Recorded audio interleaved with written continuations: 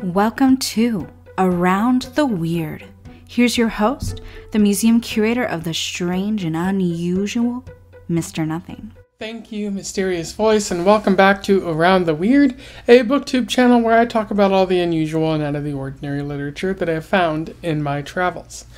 Today it is Poetry Thursday, so I wanted to talk about some poetry of interest, uh, and we are also in that period of Pride, so I wanted to focus on an LGBT poet. Uh, and today's uh, poem is all about a great cataclysm. I am referring to Suddenly All the Continents uh, by Harold Norse. For those who don't know, Harold Norse was uh, a, uh, an American poet uh, who lived between the early 1900s to the, the late 1900s um, throughout the 20th century. Uh, he was a member of the Beat generation of poets, uh, uh, kind of one of my favorite ones. I, um, I find myself torn between the confessionalists, who were brilliant, and the Beat poets, who were also challenging norms and uh, doing some pretty groovy things with uh, with poetry. Uh, he was heavily anthologized in his in his time. I don't think he wrote that many books or whatnot, but he did get a lot of his work published in journals, magazines, and in various other uh, locations, which is pretty cool. And he was also uh, gay. Uh, pretty out um, uh, gay poet, uh, which is cool. It's also the reason that uh, I am talking about him today, although this poem is definitely very interesting, and I probably would have talked about it had I known about it uh, without um, having like the reason be that he was a gay poet in this, this period of pride thing. And so, without further ado, let's talk about this poem. I will read it, do a little bit of analysis, and we will move on from there. Suddenly, all the continents. Suddenly, all the continents slipped and fell. A Gulliver crash. The oceans and caves snapped shut with Tyrannosaurus jaws. The moon was not well. The sun, through a scrim of foam, peered like a child with open wonder at adults gone wild into the caves where roots crawled like glass snakes, traveled the fallers, discovering the nude sources of wombs. Medusas born from midnight breaks glared them to stone, petrified waterfalls froze them, and white grass rose sheer from black halls. O ebon and scape, intestine of basalt, down shaw green cliffs, shinier than tinfoil perilous with smooth swerve, thy feet default. O plunging gambler of the scantling sod, here cavernous with guilt groan for your God. No birds but nocturnal salt tricklings from seas, no green but all the limelight glow to the limp flame.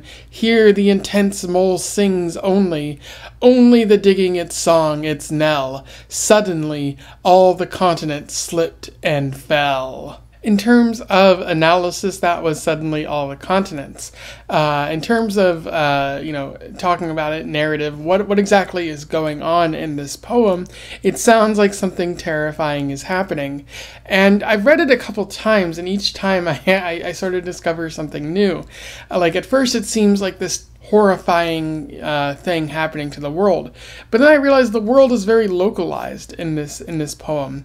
Uh, in the first verse, we see suddenly all the continents slipped and fell. A Gulliver crash. The oceans and caves snapped shut with Tyrannosaurus jaws.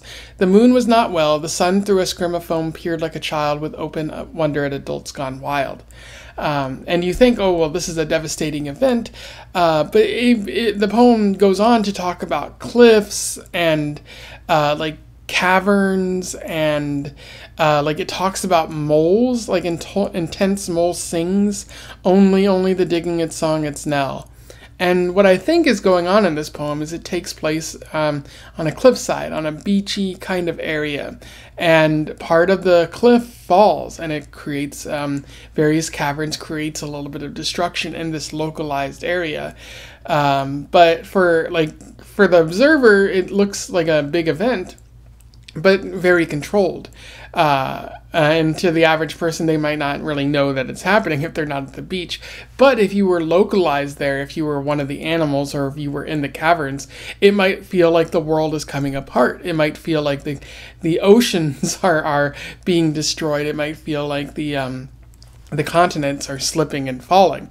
Like something devastating has to happen from from your perspective. So harold norse is using some interesting perspective in this poem to to talk of a story of what feels like cataclysm and an apocalypse for the for the people um, experiencing uh, the um, the event. And the the tone of the poem is worth talking about too. It feels biblical. It feels uh, sort of devastating and and um, you know world ending in, in, a way. Uh, this is you see that in the second verse too. Like into the caves where roots crawled like glass snakes, traveled the followers, discovering the new source of wombs. Medusas born from midnight breaks glared them to stone. Petrified waterfalls froze them, and white grass sheer from black halls. So, really, just describing what's happening as this world is sort of crumbling. New things are are happening, uh, and you get like Medusa's born from midnight break. So, using sort of Greek mythology, using sort of uh, this this larger than life language to describe maybe something that's happening on a one regular basis, and it feels very epic, even if again, like a lot of people might not notice that it's that it's that it's happening. Uh, and, and, another thing about this poem that is worth noting is the uh, the structure, the the rhyme scheme that's used. Um, I, I, believe it goes A B A C C uh, in each verse. There's four verses, and so you get fell, shut, well, which rhymes with well, child, and wild.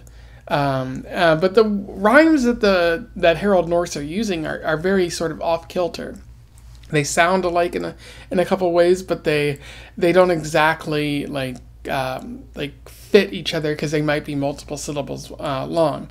So the poem comes off as a bit um, uh, asymmetrical, I would say at times. Um, especially because you're using A, A, B, A, C, C. Like B doesn't have a rhyme anywhere.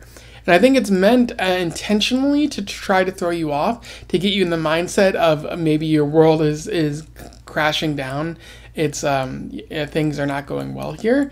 Uh, so it, it like I, I, I, say it's intentional, but it could also be unintentional, and this poem could just be, you know, have a few structural problems that prevent it from really flowing. But I do think it's intentional to get you in that sort of mindset there. Let me know in the, in the comments below if you agree or disagree, or if you have your own thoughts on why the rhyme scheme is set that way. Anyway, those are my thoughts on Suddenly All the Continent. It's a pretty fun poem. Uh, if, if it's uh, if it seems grand and, and epic and whatnot, let me know in the comments below if you understand why, or like if you have a reason why maybe this the, the that Harold Norse sort of chose this tone for for a poem that seems to be about nature. Uh, it's pretty pretty fun poem to read. I highly recommend that you read it. Let me know in the comments below. I'll put a link in the description as well so you can read it and um, offer your opinion. Uh, otherwise, don't forget to like, share, and subscribe so that other people can find out about this poet or this poem if they don't already know. Uh, also, join the Discord if you want to have further conversations about uh, poetry, books, movies, TV, other forms of media as well. And until then, I wish you the best of luck in your weird and destructive travels. Farewell.